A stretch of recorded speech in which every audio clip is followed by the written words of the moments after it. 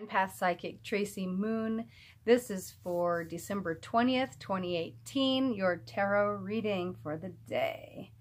We're starting off with a new deck. This is the Ace of Pentacles. You know, um, this is physical cash. You've done the work. You're able to enjoy the big money. And that's because you are in tune with your environment and you've seen the visions, like this on her head, and you're in tune with the vision, and therefore uh, your surroundings are not going to attack you. You're going to fit right in um, with your environment. Um, also, Thursday is. Uh, Uranus is trine the sun. And so this is going to give you a new perspective. Um, being able to see things from a different angle, an idea that comes to mind, not thinking the same as you had before in the past.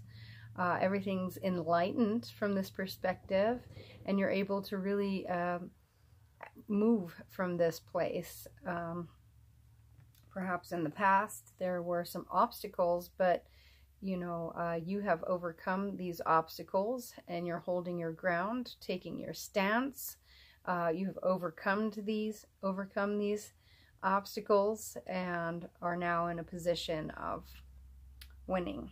the Six of Cups normally is about children, being children, stepchildren, anything about children. But this card really reminds me of nostalgia and going back to when things were really good. You know, just enjoying the moment for what it is, these fleeting, beautiful moments uh, that we have as children. Um, this too shall pass, and but while we're in the moment, really being able to enjoy the moment. And this is coming up to be the winter solstice. Um, so this is when the sun disappears and it becomes the coldest of the whole year. And so I've actually turned down my heater and put on my sweaters and my scarves just to kind of, you know, be in touch with what it would be like if it were my ancestors. Um, and just kind of going back to this idea of what the winter solstice is or was and how it was celebrated back then. I don't know how you feel, but I feel like, I don't want to celebrate Christmas. It has a lot of mm, heavy feelings. I mean, my sister died, and at the time I was like, all I want for Christmas is her, and I couldn't, you know, get past that. Of course, it's been a long time, so I'm, I'm processing that. But when I started thinking about celebrating the winter solstice and the sun and getting back to nature and really um, experiencing it from um, not a whimsical thing from Walmart with colors and bells and Santa Claus. It was like having that nostalgia of what what it was like as a child brings back all of these wonderful feelings and like having a Yule log and lighting candles and incense and drinking um, you know, cinnamon and orange tea or spiced wine and, uh, you know, living in Europe for 10 years uh, is really a different feeling to uh, this time of year than uh, here in the States. So I really like the idea of these hand-knitted scarves and your, your hand-knitted things that you worked on all winter long and so I really love going to the craft markets because people have put their energy into and it just reminds me of this card you know going back and being you know imaginative and, and, and nostalgic and so the Prince of Wands. Um, this is like a, a, race car driver, someone who's moving or going fast or changing residences. Um,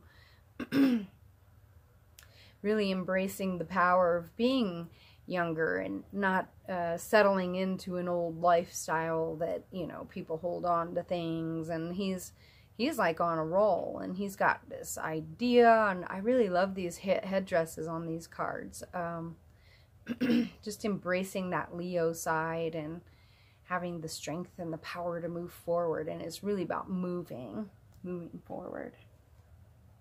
Two of Wands is about knowing who you are and standing your ground and deciding in this world who you want to be and uh, embracing it with um, confidence and power and fire. Um, so I like that. You know, maybe it's uh, also in the envir- in in the environment, just like knowing where you are. You've chose to be where you are, and um, you're there for a reason. And now you know what your calling is and how to do it. So just going forth even if you don't know the end outcome like what fun would it be if you knew what the end outcome was but just do it. And the way we're thinking and feeling on this day is that you know, maybe there was something that you're actually have a divine purpose and you're called to do, but you weren't doing it.